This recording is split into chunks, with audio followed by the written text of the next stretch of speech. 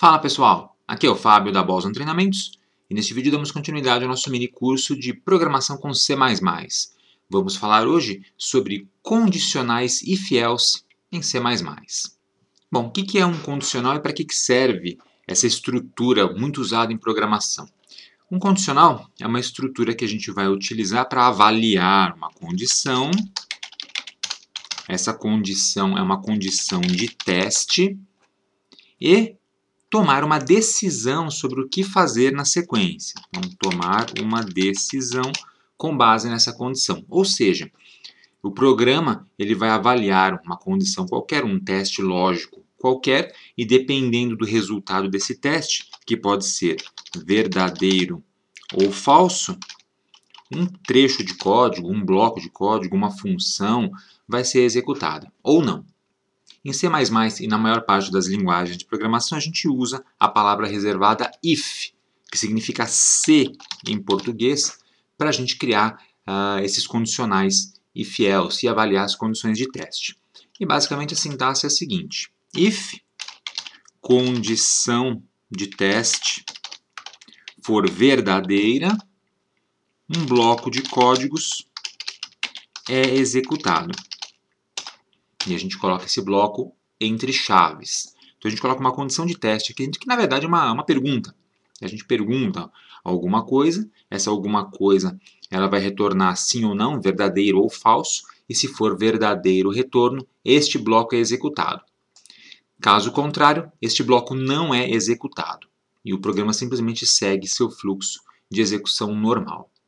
Bom, vamos ver um exemplo primeiramente desse condicional, dessa condição simples, que a gente chama de forma bem apropriada de desvio condicional simples, porque ele testa apenas o valor verdadeiro, é o teste quando retorna verdadeiro e executa um bloco de códigos. Então vamos aqui para o CodeBlocks e vamos criar um pequeno programinha bem simplesinho para a gente testar isso. Eu vou começar declarando uma variável do tipo inteiro, numérica, Vou pedir para o usuário digitar um número, alt, entre com um número, e esse número a gente vai jogar é, na variável num. Então, sem num. Conforme o usuário digitar o número e pressionar Enter, o número capturado vai para a variável num. E a gente vai fazer um teste. Eu quero testar se o usuário digitou um número maior ou igual a 10 ou não. Se ele digitou um número maior ou igual a 10, então nesse caso eu vou colocar uma mensagem na tela. Como é que eu faço esse teste? If, abro parênteses, e aí eu venho com a minha condição de teste, minha expressão de teste, que é uma pergunta. If conteúdo da variável num é maior ou igual a 10, sim ou não? Veja que aqui eu estou usando um operador relacionar um operador de comparação, comparando o conteúdo da variável num com o número 10.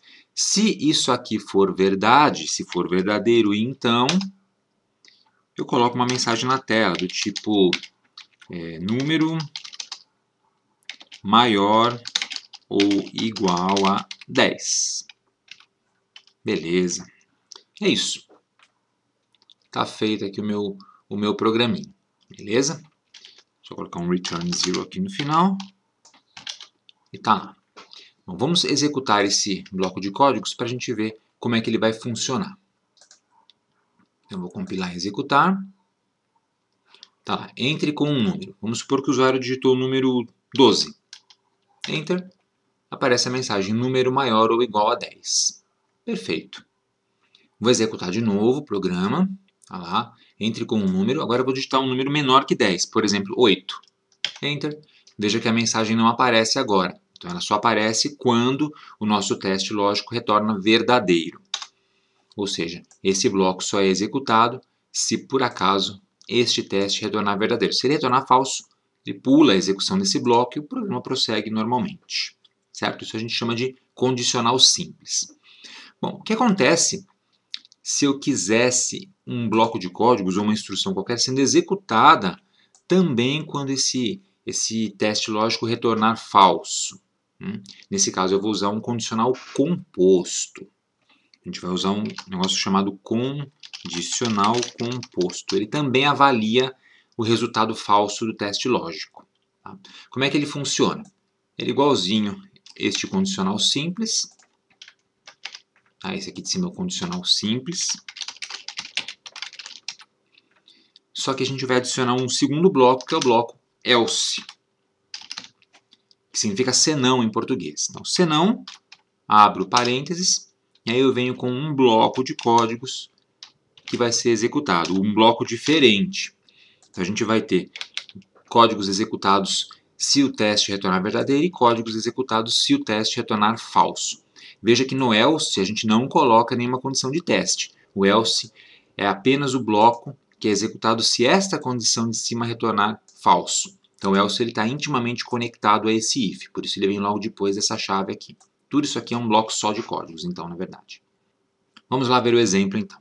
Vou utilizar esse mesmo programinha aqui e vou apenas acrescentar um pouquinho de código agora. Então, vamos supor que o usuário digitou um número que não é maior ou igual a 10 e eu quero exibir uma mensagem na tela. Como é que eu faço? Então, depois dessa chave, eu simplesmente acrescento um else, se não, abro a chave, a chave do else também e coloco outra mensagem. Se out número menor, vou colocar em maiúsculo, menor que 10. Beleza, vou colocar uma quebra de linha aqui também. Legal, né? deixa eu colocar aqui umas, umas quebras de linha para ficar mais organizado o nosso código. Ok. Vamos testar agora então. Então deixa eu salvar compilar, recompilar e testar. Ó, entre com um número, vamos supor que ele digitou 12, de novo. Número maior ou igual a 10. Beleza, como funcionou anteriormente. Ok. Agora eu vou executar de novo colocando um número menor do que 10. Vamos supor que ele digitou o número 7. Agora aparece número menor que 10. Então, o que aconteceu aqui foi o seguinte. Como 7 é menor ou igual a 10, esse teste lógico, que é uma pergunta, retornou falso. Como ele retornou falso, em vez de executar esse bloco de código, ele executou o bloco associado ao else, que é esse bloco aqui de baixo. Legal? Então assim funciona o condicional if e if else em C++. E na verdade, na maioria das linguagens de programação é igualzinho. Se você pegar isso aqui e transportar para Java, para C Sharp, é exatamente o mesmo código, evidentemente trocando a instrução de entrada e saída cout, que vai ser diferente nas linguagens, mas a estrutura if else é idêntica. Beleza, gente? Bom, vamos fazer um outro exemplo, então, só para fixar legal isso aqui. Agora eu vou trabalhar com strings. Aqui eu trabalhei com número, comparação com números. Vamos trabalhar com strings. Então, para isso, eu vou incluir um cabeçalho aqui em cima. Include. Eu vou incluir o cabeçalho string. Beleza. E agora, em vez de número, a minha variável vai ser string. Eu vou chamar de string letra.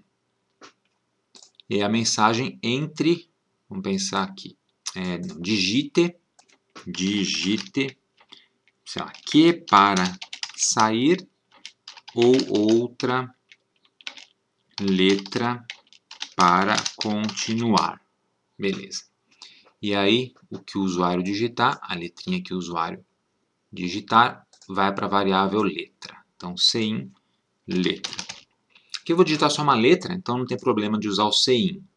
Bom, e agora no teste lógico a gente faz assim. Se a letra, o conteúdo da variável letra, for igual a que, mensagem programa será encerrado. Programa será encerrado. E para encerrar o programa, a gente coloca um return zero aqui embaixo. Então ele realmente vai sair do programa se for digitada a letra Q.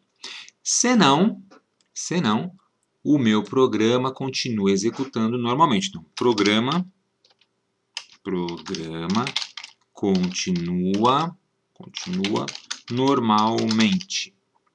Beleza. E aí, se ele continua normalmente, eu vou colocar uma mensagem fora do bloco if else, também com cout, do tipo é, programa ainda em execução. É para mostrar que o programa ele vai continuar rodando se por acaso esse teste lógico for falso, porque não vai executar esse conjunto de instruções aqui dentro do if que encerram o programa. Vai executar o else, mostrando essa mensagem, e depois essa outra mensagem, que o programa continua em execução. Então, deixa eu colocar aqui o ponto e vírgula. Beleza, vamos testar então. Salvar, compilar, vamos lá. Ó, digite Q para sair ou outra letra para continuar. Se eu digitar uma letra qualquer, como K, programa continua normalmente, programa ainda em execução. Beleza. Então, retornou falso no meu teste lógico. Legal. Retornou falso o teste lógico. Esse teste aqui. Então, aqui foi executado o bloco else. E depois o programa continuou normal. Agora, se eu executar de novo e digitar o Q, letra Q, o programa será encerrado. E não aparece a mensagem programa ainda em execução. Perfeito. Então foi executado esse bloco todo aqui, incluindo a instrução para encerrar o programa. Bom, o que acontece se o usuário, em vez de digitar esse Q minúsculo, digitar um Q maiúsculo? O programa continua normalmente, programa ainda em execução. Por que isso? Porque o Q minúsculo é uma letra diferente do Q maiúsculo. Então, para contornar essa situação, o que eu posso fazer é aqui dentro desse if, colocar duas barrinhas verticais, dois pipes, que está aí do lado da letra Z no teclado, e colocar letra igual Q maiúsculo entre aspas. O que significam essas duas barrinhas? Isso aqui é um operador lógico, operador lógico OU, que significa se isso daqui ou se isso daqui forem verdade, então esse código será executado. Um dos dois sendo verdade, o if vai receber como retorno o valor lógico verdadeiro e vai executar esse bloco de códigos. Agora ele só não vai executar esse bloco se ambos forem falsos. Vamos testar. Agora eu vou executar, vou digitar o Q maiúsculo e agora ele encerrou o programa perfeitamente. Então olha que legal. A gente viu aqui junto com esse if else também o uso de um operador lógico e como posicionar a instrução return em outras partes do programa para encerrar o programa no momento que a gente quer, não necessariamente é, executando todo o código do programa até o final. Beleza, gente? Então é assim que a gente trabalha de forma bem simples com o condicional if else, que é uma das estruturas de programação mais importantes que existem.